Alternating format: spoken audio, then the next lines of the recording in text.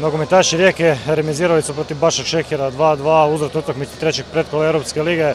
S nama je dvostruki strelac Roman Bezjak, Roman je dva gola, nažalost na kraju nije bilo dovoljno za prolaz. Da, napravili smo neke dve greške iz kojih smo dobili gol. Znali smo da je to opasno kad bacaju duge lopte u 16 i kad igravaju se prve. E, mislim da smo dali stvarno sve od sebe, borili smo se, napravili smo se još šanse, ali svalilo je ono malo sreće da zabijemo gol više. Sjajna atmosfera.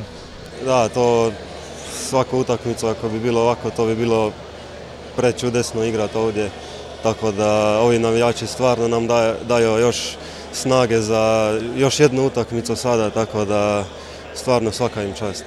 Nema puno vremena, evo već u nedjelju gostovanje kod Intera. Ništa, što brže ćemo napraviti regeneraciju, idemo dalje, nema, nema tu šta, jako nam je žao, ali možemo biti dignutih glava i idemo u nove pobjede. Puno hvala.